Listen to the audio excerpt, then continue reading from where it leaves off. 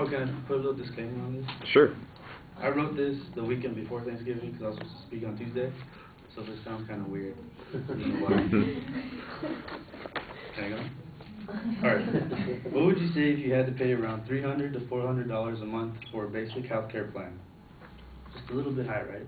Just Tad. Well, that's what employees from uh, Alta Dena pay for monthly.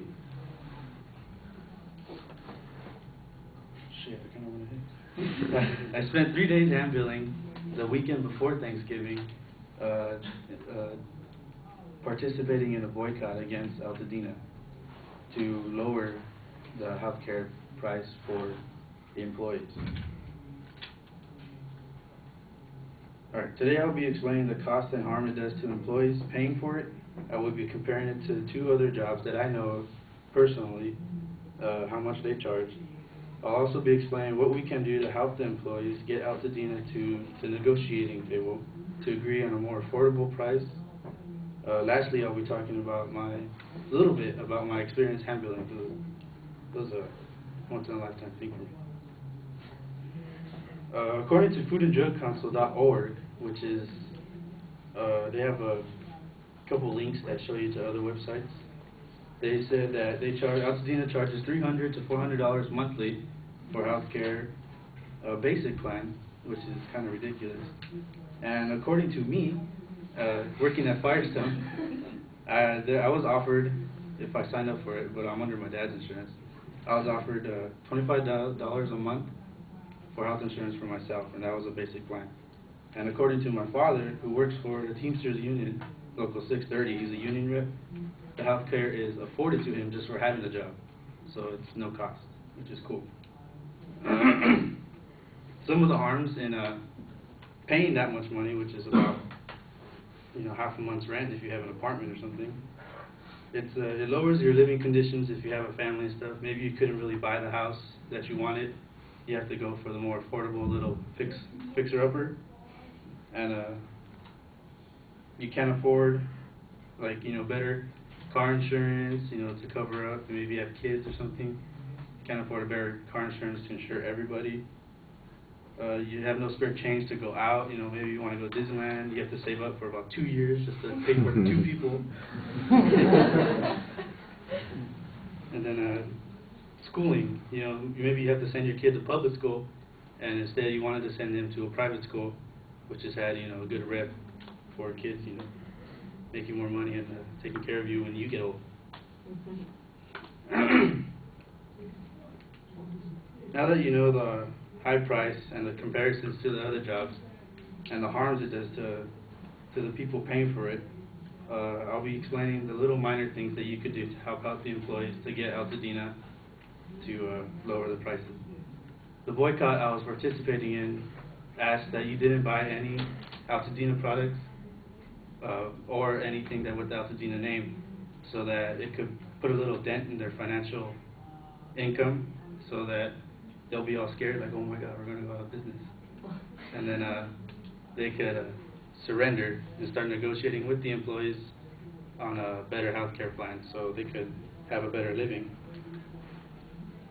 Um, with my experience in the boycotting, it was a, like I said, a once in a lifetime thing. It was pretty interesting. The people we were we were handbilling to because I was handbilling in Hollywood, so in Hollywood there's a bunch of interesting people. there was and what was cool about it, you handbill, and then they tell you, you know, oh, they give it back, you know, because they're all, you know, envir- environmental. They're like, I don't want to throw this paper away here. You want to recycle it? And then uh, they told me, they told me, uh, they said, oh, some people come, a lot of people came up, we only drink organic. Or some of them, I only drink soy milk, I'm lactose intolerant. and I know for sure I have eight, eight, yeah, eight confirmations from people that actually came up to me and said, okay, I won't buy Alta Dena. I was kind of happy. Because out of three days, I only got eight people. but it was in Hollywood, and it was kind of an expensive store, so it was like not a lot of people. I could tell you, I've seen a couple celebrities. I saw Janice Dickinson. Doesn't look too good with them. uh, Party Boy. I saw Party Boy from Jackass.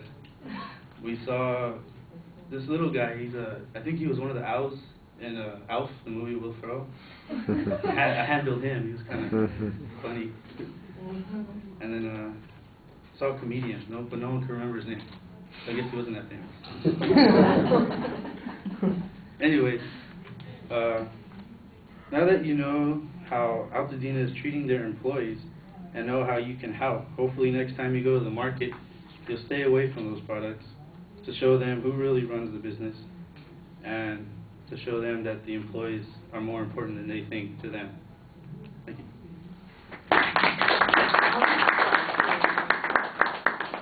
Oh, I know Mr. Kirkham doesn't like this, but if you guys want, I can give you.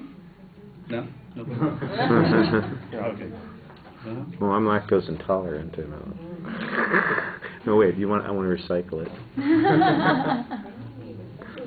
Oh, and the only reason why I took the job was because it was paying twenty dollars an hour.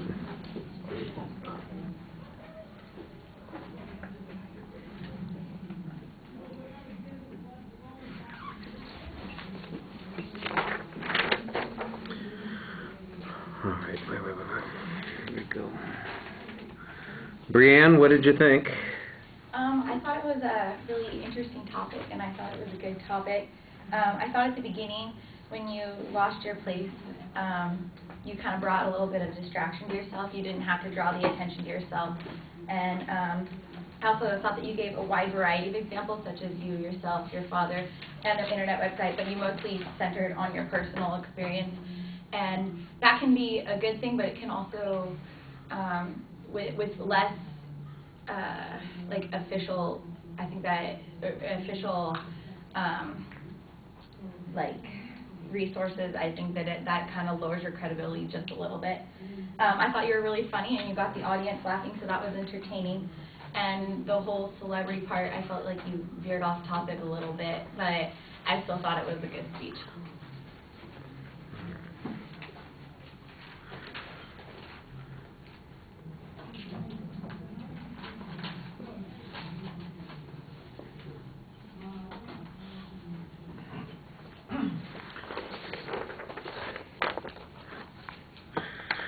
All right, it's uh, five minutes and 37 seconds, and it was three minutes and 30 seconds into the speech before I finally realized that you were talking about the dairy.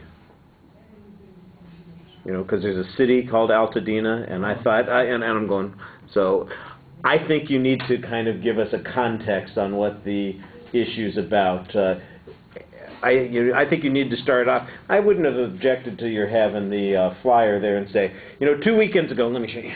Two weekends ago, I spent uh, the day passing out flyers at uh, in front of a grocery store in Hollywood. Got to meet a few celebrities too, talking about uh, Alta Dena Dairy and the conflict that they're having with their employees over uh, their health care system right now. And today, what I want to do to you is I want to convince you to boycott Alta Dena Dairies until they, um, you know, accommodate or come to some arrangement with their employees' union.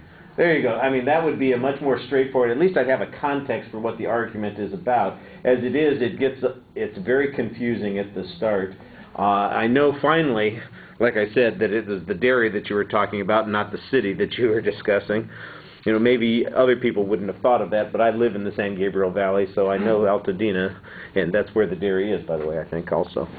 Um, Let's see. Uh, I think we need to have, for instance, how many employees are affected by this? What did they pay for health care before? How much more are they being asked to pay, or are they not? Were they never offered health care before, and now they're demanding it? I don't get that context. Uh, you know, the prices that you're talking about. Um, I think we need some comparative data. What do people in in similar industries pay or make as a contribution toward their health care costs? Uh,